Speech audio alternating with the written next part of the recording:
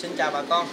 Hôm nay à, trại Minh Dũng à, lên đây à, lên ờ, làm một clip mình xin nói với bà con nhiều người hôm nhiều người ở trên cộng đồng mạng thắc mắc à, hỏi mình nuôi bồ câu có lời hay không anh Minh Dũng.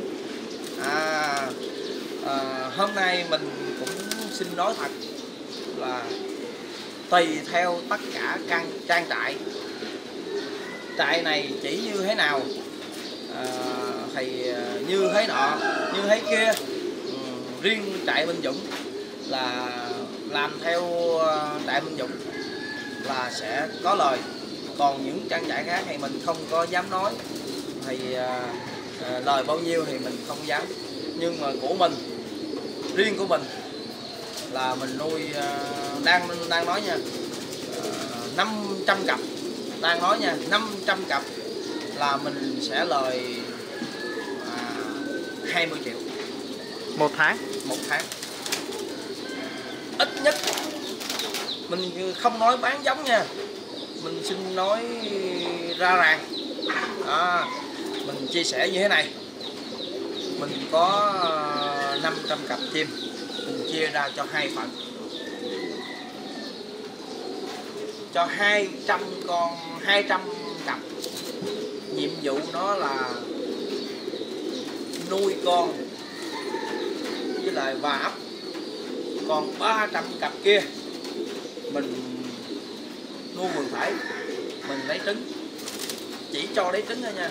Nãy mình cũng có giới thiệu mấy clip trước là mình lấy trứng là cho vô máy ấp. Lúc đó chim trong máy ấp nở ra cho 200 cặp này nuôi 200 cặp này là nó bình quân mình tính cho bà con nghe nha. À, bình quân là nó một tháng á, nó phải ra một khoảng 700 con. Tại vì những con kia nó đẻ nó đem vô máy áp nó nở ra cho mình nuôi bốn con không? Mình nuôi 400 bốn ờ, ờ, bốn con không mà à, ờ, có cái cái nào mà nó nhỏ thì mình đem qua cái nhỏ cái nào cái lớn mình đem qua lớn mình nuôi bốn con không mình cho nó hao hụt nó là 50 con đi. Mình cũng uh, cho hao hụt nó là ờ, uh, 200 cặp này vậy là nó ra là một ba ba mươi lăm ngày nó ra là 800 con con. Nhưng mà mình cho chết hao hụt 100 đi chẳng còn 700 mà mình so bây giờ là 50 ngàn con là 7 năm nó 35 triệu.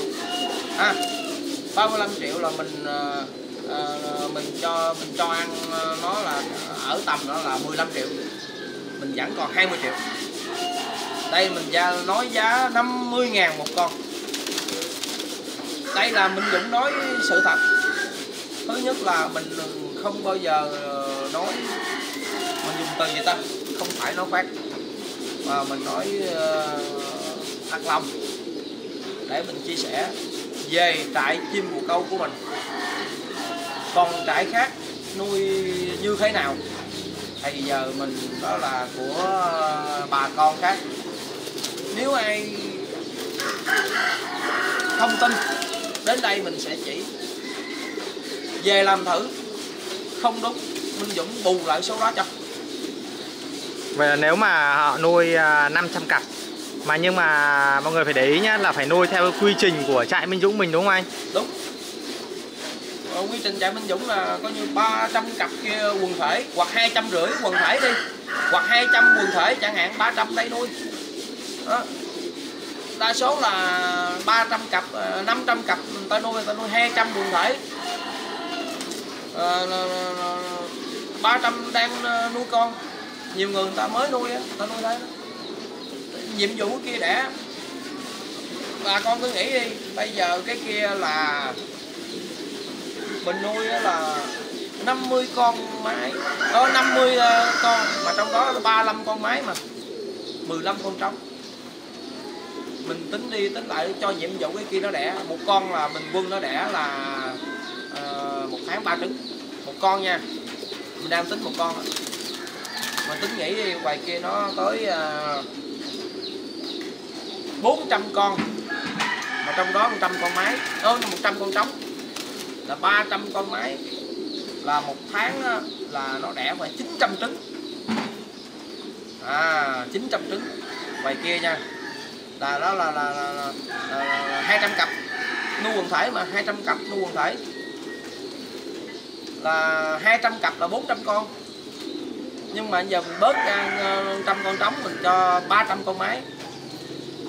À 300 con máy là 300 con máy 100 con trống mà trong trong khi đó là 300 con máy đó là như một tháng nó đẻ ba lần.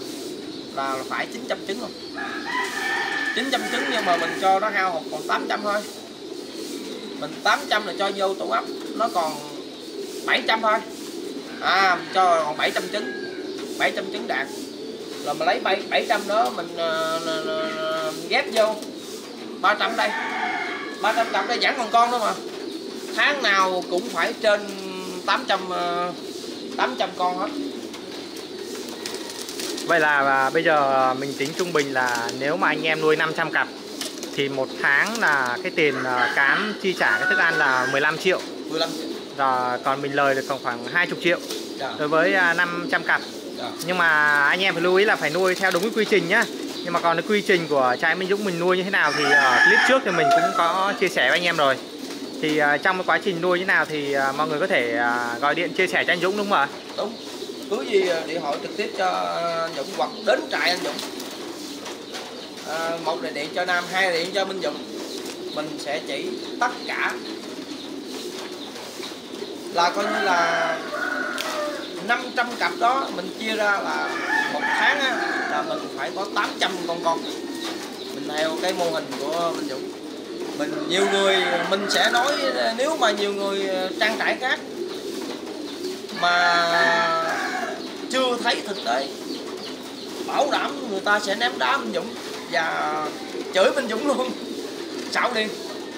Nhưng mà theo ờ, mô hình của Minh Dũng hiện nay là mình nuôi uh, quần phải đặng lấy trứng và lấy trứng đem vô lò ấp từ lò ấp ra những cho con nào đang ấp trứng nở con là mình ghép vô. Là lúc đó là chuông nào cũng có con ba con đến bốn con hết. À, thì bây giờ nói chung là hơn 4 tháng nay rồi dịch Covid-19 nó hoành hành đấy thì uh, ngành nông nghiệp cũng như bất cứ ngành nào đều à, người dân đều lâm vào cái tình trạng là khó khăn. Những cái nhà hàng này quán nhậu này thì uh, tạm ngưng đóng cửa đã không được hoạt động nữa mà chỉ được bán mang về thôi. Nhưng mà quán nhậu thì người ta đến đó người ta nhậu chứ ai đâu mua mang về đúng không anh? Thì người nông dân cái đầu ra của họ là những cái sản phẩm này. Thì bây giờ anh có thể uh, chia sẻ uh, một chút cái, cái uh, cảm nghĩ của mình trong cái thời điểm hiện tại không? À, nói chung là cái bề cái này là bị là bị thế giới à đừng nói quốc gia nữa toàn thế giới hết. À, tất cả bà con chăn nuôi cũng đều thông cảm. Nhưng riêng trại Minh Dũng nha người nào mà mua giống chim bồ câu của Minh Dũng vẫn bắt bình thường nha. Không bỏ bà con nhưng mà bắt bồ câu nó hơi lớn xíu. Thay vì ờ, hồi, hồi đó nó là 25 ngày giờ nó là 30 ngày. Để chi phải không? Về ờ, mình làm thịt da mình đông lạnh nè ha mình đông lạnh mình vô kho đó. À, mình để ờ, mình ờ, mình xuất qua bên ờ, Trung Quốc này kia Campuchia đâu mà này kia Campuchia nó mua hàng của mình nhiều lắm và qua qua bên qua bên qua bên dịch này rồi mình nhập đi mấy cái khác nhiều Nói chung là người nông dân cứ yên tâm khi mà kết nối với trại Minh Dũng. Ở trại Minh Dũng là luôn lo cái đầu ra cho nông dân đúng không ạ? Đúng. À, thứ nhất là trại Minh Dũng có ký hợp đồng bao đầu ra cho bà con. Nhưng mà trong hợp đồng thì cũng có để như là dịch quốc gia này kia bà con cũng không cảm à, cho Minh Dũng hơi chậm chút xíu. Nhưng mà không có bỏ bà con luôn đâu. Cũng có bắt. À, à, như không phải như những trại khác mà bỏ luôn à, cho bà con cho những người đó tự làm gì làm nhiều người ta giờ đăng trên mạng người ta bán làm ta bán rang bán ôi nấu cháo đem về tùm lum. Riêng trại Minh Dũng là nói chung là bảo hòa. Không bỏ bà con nào hết. Bắt đều đều à, xin nói bà con bỏ như thế thì hiện tại thì à, những cái nhà hàng của mình đều à, vẫn à, chế biến rồi à, bà con mua về là mình vẫn ship bình thường đúng không anh nhỉ? Vẫn bình thường. bình quân ờ, thay vì ờ, Ờ, bốn cái nhà hàng là coi như là mình bán ờ, ngày không dịch bệnh á mình bán phải tầm ngàn đến ngàn rưỡi con. Mà hôm nay ờ, dịch bệnh bán còn 300 400 con. À, à ship đầu năm mang về. À, mình vẫn bán bình thường. À, xin nói rõ cho bà con biết tại mình tiêu thụ nhiều như vậy. Nói chung là cái thời điểm dịch bệnh thì ai cũng khó khăn. Nhưng mà ở trại Minh Dũng mình là khi mà kết nối bà con, có phí hợp đồng thì bà con yên tâm về cái việc mà trại Minh Dũng mình vẫn thu mua cho bà con. Để có gì à, bà con đỡ phải lo đầu ra, đúng không nhỉ? tất nhiên rồi, mình ký hợp đồng mà mình có pháp lý rồi mình có thể thưa trại Minh Dũng được mà. Của trại Minh Dũng này mình làm 20 năm nay rồi.